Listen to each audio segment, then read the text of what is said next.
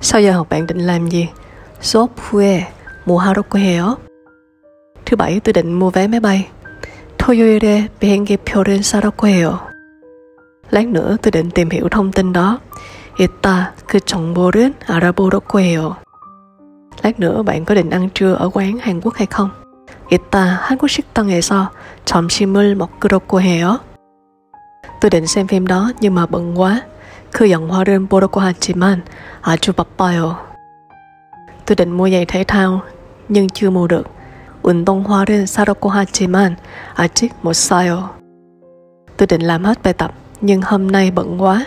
숙제는 다 하려고 하지만 오늘 너무 바빠요. Tôi định đi Nhật Bản. 내년에 일본에 가려고 해요. Tháng sau chị gái định học tiếng Nhật ở trung tâm đó. 다음 달에 언니는 그 학원에서 일본어를 공부하려고 해요. Tuần sau chúng tôi định gặp bố mẹ ở Hàn Quốc.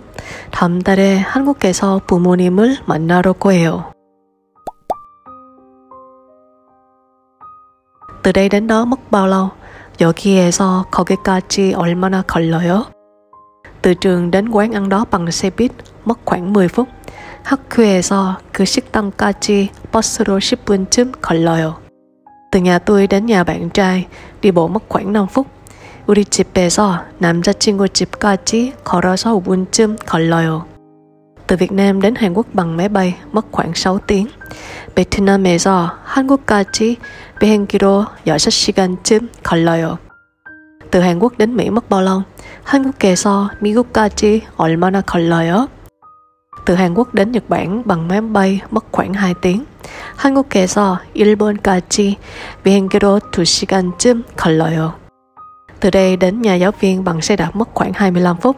여기에서 선생님 댁까지 자전거로 25분쯤 걸려요. từ đó đến công viên mất khoảng 10 phút. 거기에서 공원까지 10분쯤 걸려요. từ quê tôi đến Seoul bằng xe lửa mất khoảng 3 tiếng. 우리 공항에서 서울까지 기차로 3시간쯤 걸려요.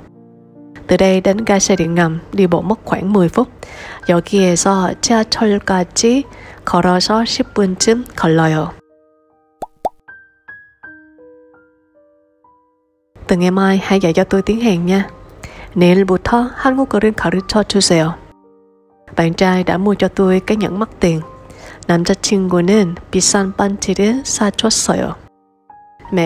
tôi áo mới. 어머니는 새 옷을 사주셨어요. tại sao dạy em học sinh đó tiếng Nhật? 왜그 학생한테 일본어를 가르쳐 주었어요? dùm bài tập. 언니는 숙제를 해 주었어요. chị gái đã dọn vệ sinh giùm tôi. 오늘 제가 바빠서 언니는 청소해 주었어요. Vì bài hát này khó nên bạn tôi đã hát cho tôi. 이 노래가 어려워서 제 친구는 노래를 해주었어요. chị gái đã dạy tôi nấu món Hàn. 언니는 한국 요리를 가르쳐 주었어요. tôi giúp công việc cho mẹ rồi mới đi chơi. 어머니의 일은 도와드리고 놀러 갔어요. lát nữa hãy giúp tôi bài tập tiếng Anh đi. 이따 영어 숙제는 좀 도와주세요. xe buýt này không đi đến ga xe điện ngầm. 이 버스는 지하철역으로 안 가요. Tại sao hôm qua không về quê? 왜 어제 공항으로 안 갔어요? Lát nữa tôi sẽ về quê cùng chị gái. 이따 언니와 같이 공항으로 갈 거예요. Mỗi ngày bạn đều đi đến thư viện à? 매일 도서관으로 가세요. Lát nữa chúng ta cùng qua nhà cô giáo nhé. 이따 우리는 선생님 댁으로 갈까요?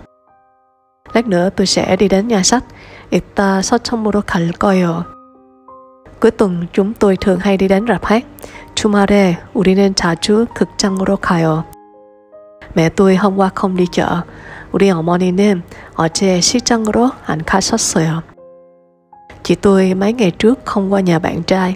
며칠 전에 우리 언니는 남자친구 집으로 안 갔어요.